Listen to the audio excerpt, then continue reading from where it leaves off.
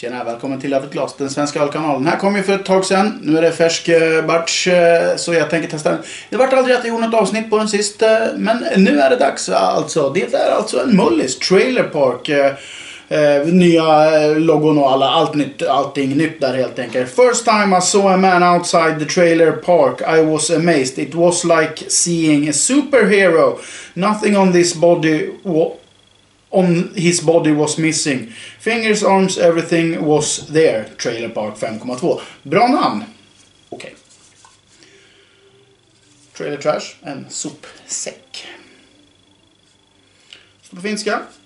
Kostar 30 spänn på bolaget. Dricker ur Mullisglas såklart. Kellerbier.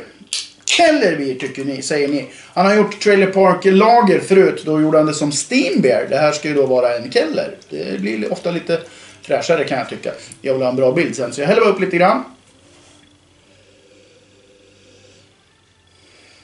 Friskt, maltigt. eh,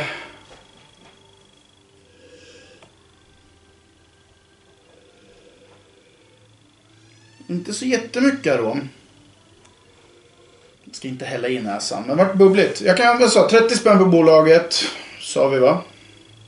Det sa vi, 29,90. Ja, okej. Frank Keller. Mm, absolut.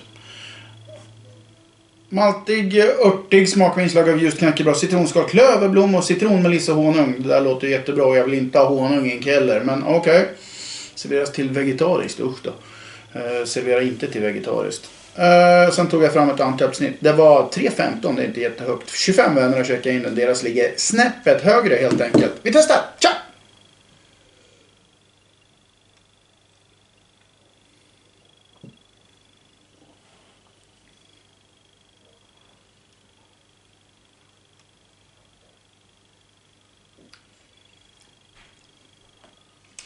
Fräschören finns där och lite av de smakaromerna som stod här också finns absolut. Eh, klöverblommor kanske jag kan köpa till exempel, eh, även fast man inte riktigt äter det så ofta. Just knäckebröd behöver vi inte hålla på med citronskal, men vi har de här fräscha fräschörerna. Honungen är inte där. Dock så tycker jag det finns en liten gästton här.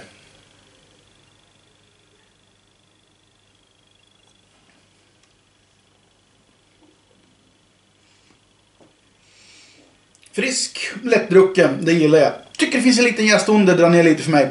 Håller jag med det här antiapsnittet som ligger, vad sa jag, 3.15?